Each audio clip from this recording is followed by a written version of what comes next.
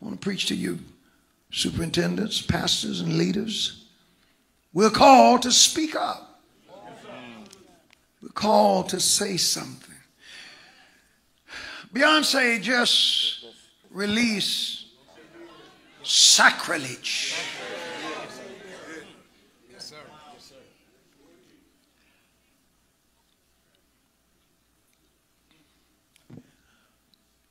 The only thing I can account for some of this stuff is somebody done sold their soul to the devil. Now, all I can say to you is this. When you sell your soul to the devil, you get the short end of the stick. Because you, you're not going to live but so long.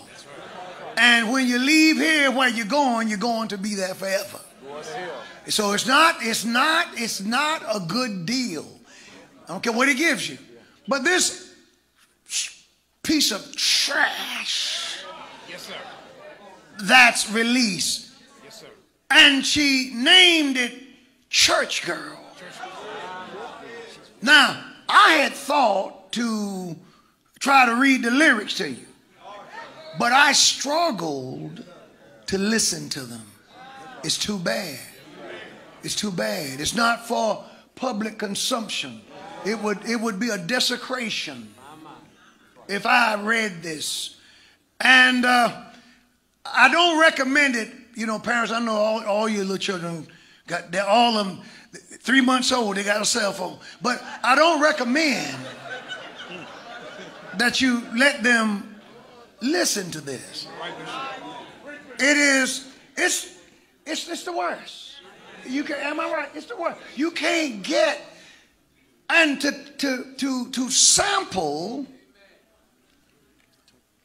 the song of a real church lady, Yes, sir.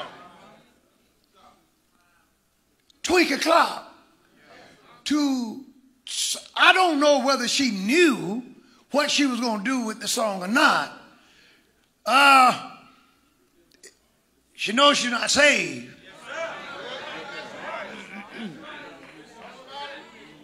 I don't talk about anything that's not public. Yes, sir.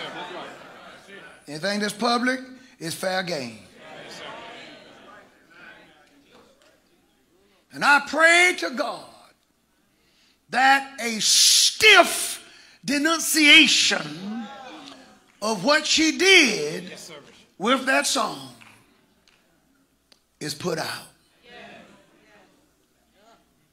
It shows that we we're not speaking up.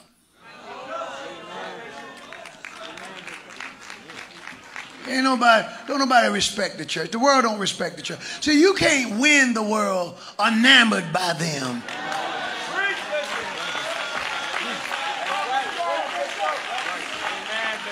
I'm just so proud that somebody want to use my music. What do you mean? You're one of the best in the world. You're preaching, sir. You're preaching, sir. You're preaching, sir. We sang for Jesus. I, I tell you what did uh, help me.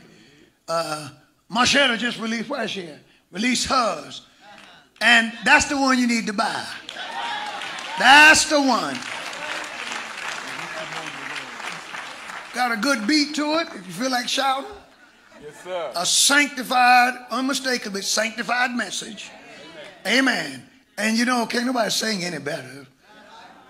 But for to show this kind of disrespect for the church, and what's sad is this there will be church people who will defend it. But let me tell you something. I'm not I'm not bothered by those who defend that kind of garbage. I'm bothered by those who say nothing. You're the one who angers me. Am I right? President, the late President Richard Milhous Nixon said, nothing hurt him. You know, because, you know, he was criticized for Watergate. He said, nothing hurt him as bad as the indifference of his friends. See, it just bothers me when we go silent, when we go neutral. Do you not know? I'm going to preach this in a minute. Do you not know that in the Bible there are no demilitarized zones?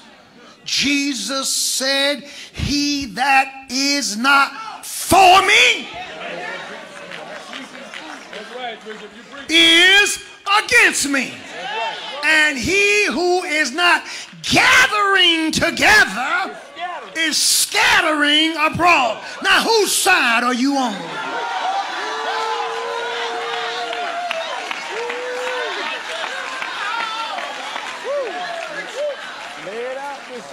Well, the Lord hadn't led me to say anything.